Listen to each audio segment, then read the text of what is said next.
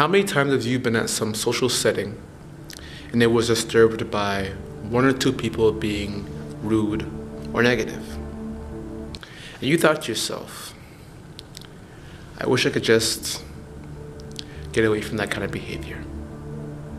But the truth is, we can't. We can't because poor behavior is everywhere. But what we can do is we could fortify this. We can learn the skills and the methods to deal with the difficult things out there. And the cool thing is, when we face our challenges head on, they shrink in size.